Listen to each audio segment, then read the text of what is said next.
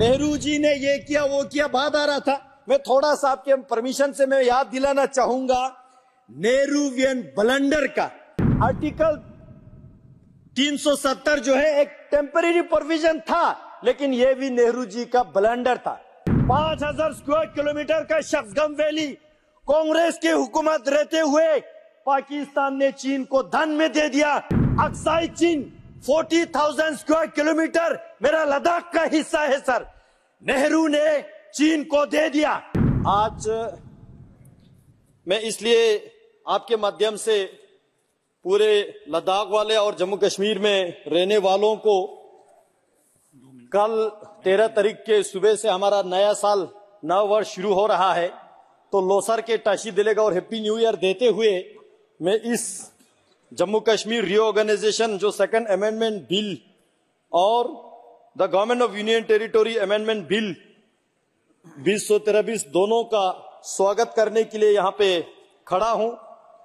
महोदय दोनों बिल के माध्यम से जम्मू कश्मीर और पुडुचेरी में वन थर्ड वुमेन रिजर्वेशन का जो प्रस्ताव लेके आया है, माननीय गृह मंत्री जी को आभार प्रकट करना चाहूँगा कि जिस दिन प्रधानमंत्री मोदी जी ने शासन संभाले और माननीय गृह मंत्री जी ने जम्मू कश्मीर और लद्दाख और साथ साथ इस देश के महिलाओं के प्रति जितना सम्मान दिया, जितना उनके हक देने का काम किया, ये सराहने की बात है।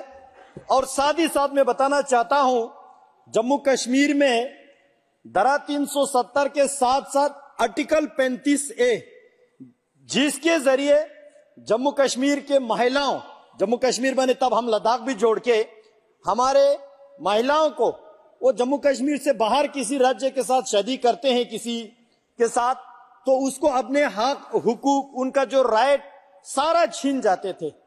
आज दरा 370 के साथ 35 ए को हटा के, और इस साथ जम्मू कश्मीर के लेजिस्लेटिव असेंबली में कल 33 परसेंट वुमेन रिजर्वेशन को आज इस बिल के माध्यम से सुनिश्चित करके जम्मू कश्मीर के महिलाओं को पहली बार उनके सम्मान देने जा रहा है। मैं इस बात के लिए आभार प्रकट करता हूँ।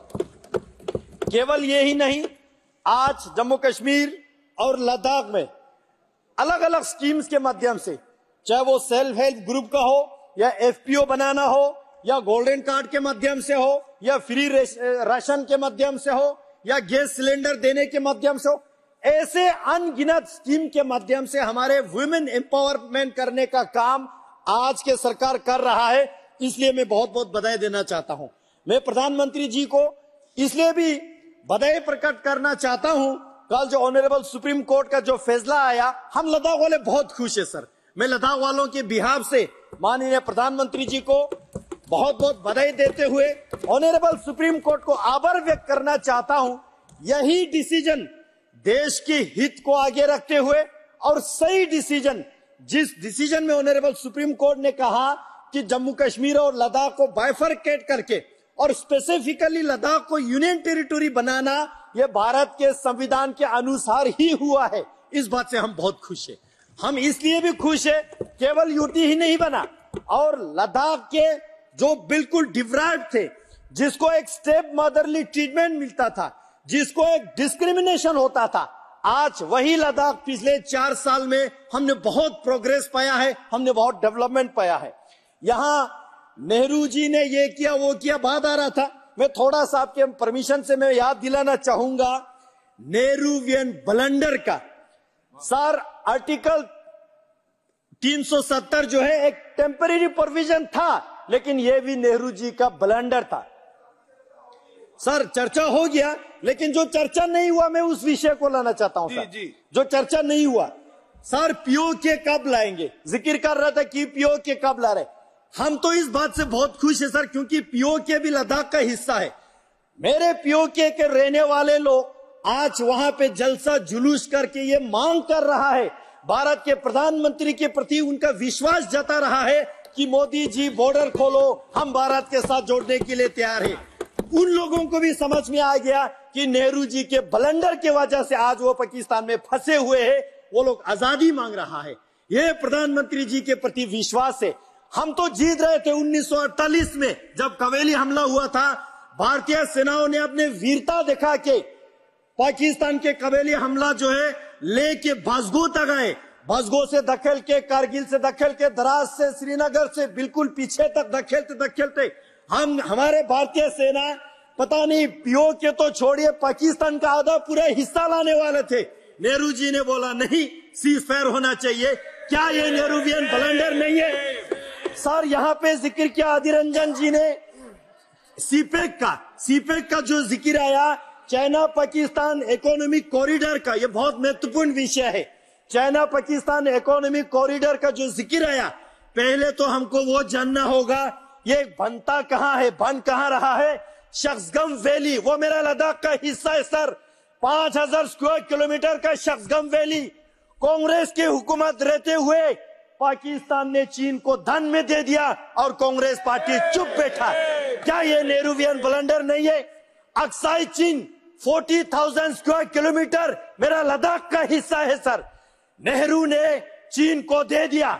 उसके अलावा एक बात आज मैं ज़िक्र करना चाहता हूँ। सर, लद्दाख के इतिहास में, जब लद्दाख इंडिपेंडेंट किंगडम था, सोलह में 1684 में वहाँ पे एक ट्रीटी हुआ। एक ट्रीटी हुआ तिंगोसगंग ट्रीटी के नाम से जाने जाते हैं। उस ट्रीटी में लद्दाख के महाराजा और तब के तिब्बत के जो परम पवन फिफ्थ दलाई लामा जी के बीच एक ट्रीटी हुआ, उसमें साइन हुआ। पर्वत मन जो हमारा पवित्र जगह है, कैलाश पर्वत, और वहाँ पे जो झील मनसरोवर है, वहाँ तक हमारे बुद्धिस्ट लोग वहाँ पे तीर्थ यात्रा के लिए जाते थे। हिंदू लोग तीर्थ यात्रा के लिए जाते हैं। जैन को मानने वाले लोग तीर्थ यात्रा के लिए जाते थे। वो लद्दाख का हिस्सा रहेगा, था, है, हमेशा के लिए वो उस ट्रीटी में लिखा था। उसके बाद लद्दाख जम्मू कश्मीर के साथ जोड़ा, और जम्मू कश्मीर भारत के साथ जोड़ा। इसलिए वो मेंसर गाँव सर मेंसर गाँव। मेंसर गाँव भारत का हिस्सा था। नेहरू जी ने उन्नीस के बाद सर एक मिनट उन्नीस के बाद पंडित जवाहरलाल नेहरू जी ने हिंदी चीनी बाई बाई की नारा लगा के जी जी। चीन को एज अ गुड जेस्टर दान में दे दिया सर। दान में दे दिया। वो कैलाश पर्वत वहाँ के झील मंसरोवर बोल करके समाप्त कीजिए। समाप्त कर रहा हूँ सर वो दान में दे दिया। हमको इस बात से बहुत दुख है। नो नो नो सर ये ये ये कांग्रेस वाले इनको जानना होगा सर उन्नीस सौ इकसठ के सेंसस में उन्नीस सौ इकसठ के भारत के सेंसस में मैंसर गाँव का नाम ज़िक्र आता है। वहाँ के जनसंख्या ज़िक्र आता है क्योंकि वो भारत का अभिन्न अंग था नेहरू जी ने उसको गवाया सर। मैं कंक्लूड कर रहा हूँ सर। मैं कंक्लूड कर रहा हूँ सर। सर मैं कंक्लूड कर रहा हूँ। एक मिनट में मैं कंक्लूड कर रहा हूँ। सर जम्मू कश्मीर में हमेशा चीफ मिनिस्टर मुसलमान का रहा। हमेशा चीफ मिनिस्टर मुसलमान का रहा।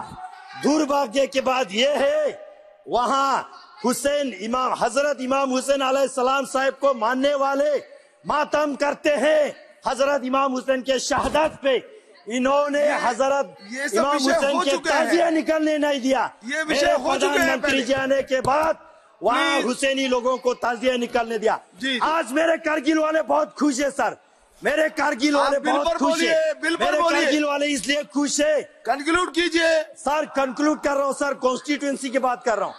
कारगिल वालों को लद्दाख के शिया मुसलमान को सुन्नी मुसलमान को इतिहास में पहली बार हज कमेटी गठन करके दिया। हंड्रेड परसेंट को हाज कराया हम प्रधानमंत्री जी को आभार।